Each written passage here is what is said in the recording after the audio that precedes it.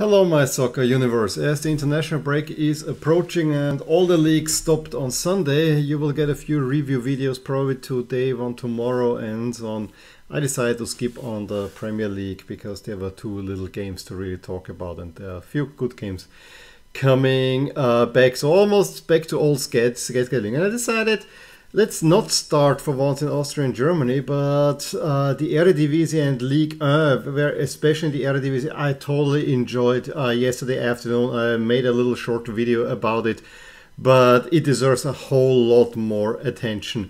This to me was probably the highlight of the entire weekend, and that is despite Serie A having major uh, storylines in there. But I think what was happening uh, in Holland, or the Netherlands, uh, it's just two amazing games absolutely two amazing games.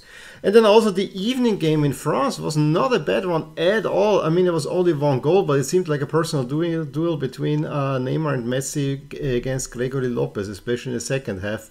Um, but PSG prevail over uh, Lyon in the big match. Uh, in France over the weekend. We also had a kind of a record, I think, a red card after just 17 seconds or something like that. Something ridiculous like, like that Nice uh, got that one. But a um, little bit of um, uh, a disclaimer. I have not seen too much of League, uh, but I hell with the the effort to watch the big Saturday or Sunday afternoon in the Eredivisie, and that's where I wanna start. I mean, you see here the results, and uh, you know I can again go on that Vitesse is not winning again. That Heerenveen actually had a big win over Twente 2-1 because we said that Twente might actually make it top four. Now Heerenveen uh, and they deserve their spot up there on the wall. Waalwijk with a 5-1 over Cambuur. That also seems like, but you know, there were two red cards in there as well. But it's all about the last two games. PSV against Feyenoord. What a game that was. And also, I woke up in the 25th minute. You know, I, I took a slight nap, um, then uh, switched over, and was already 2 1 uh, for PSV. And I was kind of did I now miss the, the core of the game? No, fortunately not. I was not even halfway there.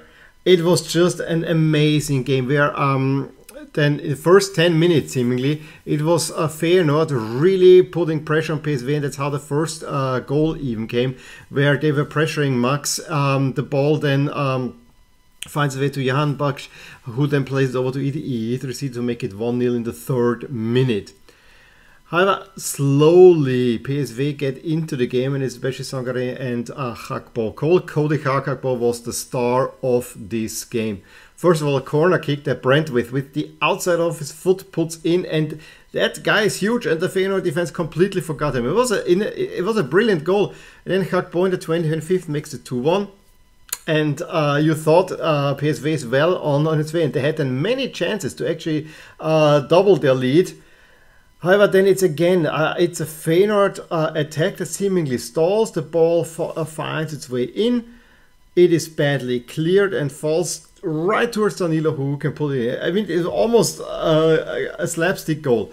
Only to be done that something very similar then uh, almost happened in the second half. Again, a seemingly stalled attack by PSV this time, but Gakpo out of nowhere gets a pass out to Thiel who makes it 3-2. Uh, and that seemed to be like a real shock for Feyenoord and settled the game for a while. However, with a few changes, uh, Feyenoord got back in, the, in, in, this game and then uh, Kökcü, it felt a little bit out, out of nowhere. Makes it 3-3 in the 73rd with a, a great shot that um, at first you thought is a brilliant goal, but then you see it got the deflection from Brentwaith to really uh, get the height to make it into the net and you see, whoa, what a game are we watching here? Uh, is this gonna end in a 3-3 because it's so ent entertaining? No, it did not end in a 3-3. Actually, PSV then find the winner 10, 10 minutes later. Again, Gakpo assists. I mean, he was involved in all the goals. He assisted three and scored uh, one himself. Whips it in. Obispo gets his head there. Also, uh, Trauner gets his head there and it's 4-3 um, for him and uh, oh, Obispo had to come, come, come, come, of course, seemingly was concussed. But what a game that was. And, you and, and, and at this moment you thought, this cannot get any better. AZ against Ajax cannot live up to it. Well, it kind of did. Uh, not in terms of goals, but you know, it started typically Ajax, uh, uh, Kudus getting a goal in the 12th minute and having firmly the game under control, not being uh, like super attacking, but you know, having the, the, the chance of being large, large, better team until the David equalizes in the 4 or 45th minute. And then suddenly, you know, you felt the physicality, and the referee had a big, big uh, part, part, of letting the game be physical. There was one where uh, Tata got checked and had to be uh, treated for five, five minutes. I mean, AZ brought the physicality into that game. And that was the way to uh, really get to Ajax there. Um, and then they even get uh, the go-ahead goal through Odgaard. And then in the second half, it was very similar to what Augsburg did to um, uh, Bayern the day before.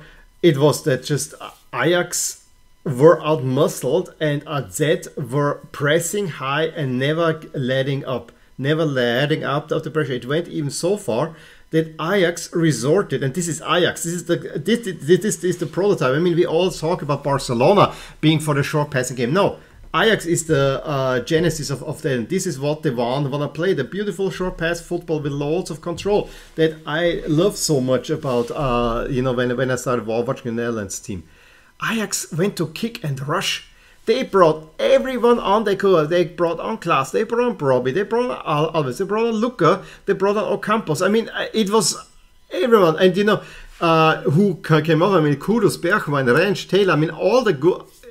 It's really amazing how deep that squad was. But they couldn't handle AZ any, any, anymore. They were lopping in balls. Yes, there were some chances. They hit the crossbar and and and so. But I think in the, in the end, AZ really deserved that win. And what that made, what that means now is that the league suddenly is very much wide open. At least when I look at just the points totals. Uh, if we look at the probabilities and we look at expected stands a little bit later, it's still very, very much in Ajax's hand. But at the moment, it's PSV uh, level terms with Ajax with a one goal better. And that makes a huge difference. AZ move in there. Feyenoord also in there. I mean, we have four teams within two points. What do you want more? We have Twente, maybe already. I mean, there is definitely a second with Twente, Heerenveen, and Sparta potentially. Uh, but I would say Twente and Heerenveen that probably move uh, up, uh, up, up there as well. It's a very wide open league, and that's a whole lot of fun. I gotta say, it's really, really interesting to see. Um, also interesting to see is that uh, Ajax, despite the loss, still has a green bar as to uh, PSV in the over in the overstands, but I don't think we need to say much there. Um, I wanna uh, go to the expected standings because it's still very much Ajax ahead of PSV because Ajax is a better team. However, we may get a title race this time around, and PSV's chances of winning the title have definitely improved. Feyenoord, AZ uh, round out the top four, it seems, and then it's Twente. So yeah, uh, it's a really, really interesting league at this very moment. Uh, when we come back from the international break, uh, we have I'll give you the next two rounds here. Um, gotta, gotta say, I mean, the immediate ones are not that uh, crazy games for the big teams in there. However, then the week after, and probably this is when the next uh, video comes, we have Feyenoord against Twente and with PSV at Heerenveen. I think those are two games that are definitely worth your time. I think also Utrecht against AZ is not too bad. Ajax getting a little bit off. I mean, they, they could again in you know in by mid October. Maybe they have taken a bigger lead there. All to be seen. Uh, moving over to France, I already said I didn't see all that much from uh, those uh, from this week's games. Um, the one that sticks out, of course, uh, beside the PSG Lyon, is the Marseille Rennes. This was uh, a, a, big match with Guendouzi scoring both goals, first on own goal in the first half, and then in the second half he gets the equalizer. A little, you know, bump in the road for Marseille. I still think they seem very much to be the second best team. Monaco get a big uh, win at Reims, uh, bouncing back from their loss in the Europa League. You know, it was not a good. Nantes against Lens, a nil-nil. I don't think helps either team. Nice, the 1-0 loss at home to Angers. Uh, both teams got a red card, but I think it was very much... Um, the first minute to uh, to Depot red card that actually probably helps Angers to get a uh, go ahead goal um, just before the half before they get a second yellow, which was given for diving. Uh, I read here. Um, what other results do we have? Lille uh, get a win over Toulouse, so Toulouse getting a little bit well, and uh, especially Lorient, the top one, uh, winning again against Auxerre. We will see Lorient doing really, really well in this league. However, it was Lyon against PSG, where I really have to say uh, the first half was rather open. PSG get the early lead. Again, beautiful interplay between Neymar and Messi. It's actually at this moment I have I have to say it's Mbappe that's a little bit falling off uh, behind those, those two that are really in great form. And Messi is really now transitioning. I have mentioned before more to an assist giver. Um, but now he also starts scoring goals. I think this could be really, really exciting. However, it also needs to be said that the defensive work of those uh, also need, need to improve. Lyon had their chances and they also have a really good forward line named Lacazette in there. Had their chances to actually level up the score in the first half, but in the second half, I think it was all from what I could say. I mean, it was I was watching yesterday on three screens because we had three big games all at the same time, and I probably should, should have made made a picture about that because it was really uh, da, da, da, all here. But uh, I, my focus was on Milan Napoli, of course. Uh, but I always watched over, and I saw in the second half. I mean, Neymar and Messi were uh, having chances to make it a second goal, but Gregory Lopez kept it, uh, kept them in play. And even when they scored, finally, I mean, there was a brilliant Messi free kick that uh, was saved by Lopez right to. Um, yeah, Sergio Ramos who put it in, but he was offside. So yeah, uh, I think it was overall the right result, um, but it was a much much more entertaining game than one might expect from the scoreline. Um, and Lyon, as I said, were in there as well. But now uh, with this, we have finally finally uh, PSG clear on top because this is what we've been expecting all, along. It's not that I necessarily wanted, although I repeat myself, I had uh, this goes back to the to the night I have slight PSG leanings uh, in France, but you know there are many uh, interesting teams in there. Um, PSG ahead of OM, Lorient and Lens are probably the other two surprises in there. I am not sure if Lorient can keep that up.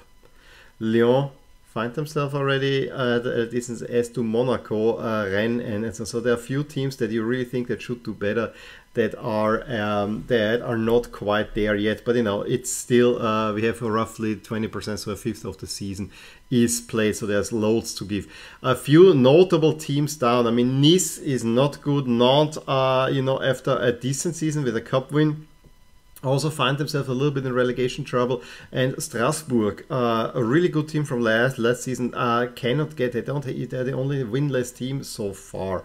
Uh, and Brest is also this team that can uh, win big, but then on the other side they also lose and so on. It's four relegated teams. That will be a big one in France. Um, again, expected standings. Uh, it's still very much PSG's to lose. I mean, they could get over 100 points there is a, a, good chance for for that. And on the bottom, it's Angers, uh, Brest, Auxerre, and Ajaccio at the moment. But again, many changes still can occur. It is wide open. I I would say up until Troyes, everyone in there can probably get in there. And I'm not even sure that Strasbourg uh, and Nantes could not be direct in there as well. Uh, upcoming rounds again after the national break, we have another big one for PSG. We have a lot of uh, big. Um, matchups. I mean, Nice is not that uh, great at this moment, but they can cause some some trouble. So this is come come back. We have uh, Monaco Nantes. We have also Lens against Lyon. I think that uh, is kind of a undervalued one, and of course Marseille have to go to Angers as well. And I want to see what Lorient can do against uh, Lille. So yeah, interesting stuff for sure. And then uh, the week after we have the big Northern Derby between Lille and Lens. I think that takes the headlines for sure. Uh, other than that, I think uh, the big ones Marseille against Ajaccio and uh, Paris uh, PSG against Reims should be straightforward uh, wins again. Should and then Brest against Lorient, Breton Derby could be some heat. So that's it from me from those two leagues uh, that I again I truly enjoy.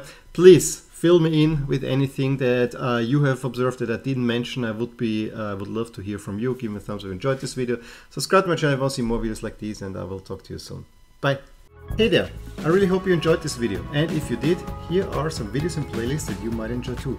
Also, please consider subscribing to my channel and hitting the little bell icon so you get notified whenever something happens in my soccer universe.